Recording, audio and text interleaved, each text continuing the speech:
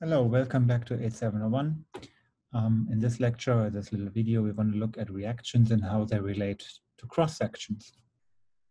So we start um, or continue the discussion um, of how we can relate um, proper experimentally measured determined properties to the forces involved.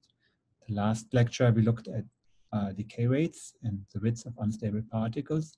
This time, we want to look at the reaction rates expressed as cross-sections. And we can start doing this um, by looking at this simplified picture.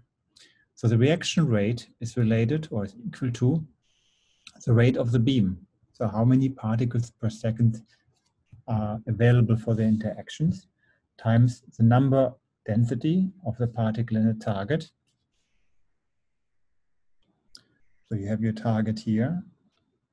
And clearly the number of uh, reactions depend on how dense your target is. Uh, the thickness, so you go along, how, you know, the thicker the, the thicker the material the target is, the more likely is for reactions to occur. And then by the actual physics, by the likelihood of a collision to occur. And this likelihood is called a cross-section. And we can think about this cross-section as a geometrical area. All right. So let's look at this a little bit more. Again, we stay with a very classical model, uh, a model in which we have two billiard balls. A light one, a small one with radius R1 and a larger one with a radius R2. Clearly, a collision happens, occurs when the impact parameter B here between those two billiard balls, balls is smaller than the sum of the radii. Okay?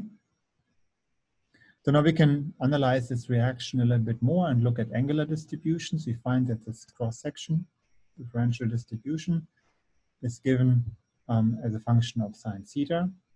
Uh, we can also express this using the azimuth or as a solid angle here. As a reminder, the solid angle theta is equal to sine theta d theta d phi. All right.